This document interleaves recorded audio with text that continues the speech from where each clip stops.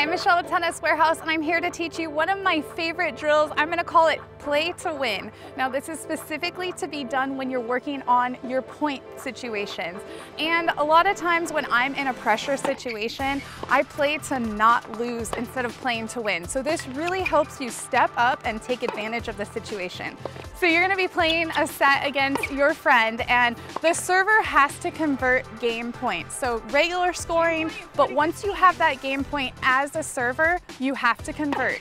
If you don't convert, you lose all of your points. So for example, if I'm serving and it's 40-15 and I don't convert on game point, then the next point is love 15. And then you go from there.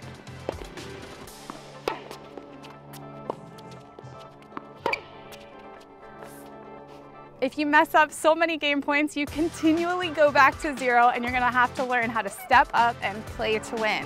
Now this is so great because you're really focused on figuring out your game plan. And if your game plan A isn't working for you that day, you're gonna find out real fast and find another way that you have to convert your game points.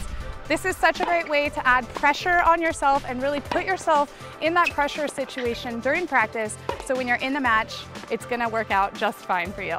If you have any questions about how to play to win, be sure to let us know in the comments. And for more drills like these, be sure to head to Tennis Warehouse, Tennis Warehouse Europe, or Tennis Only.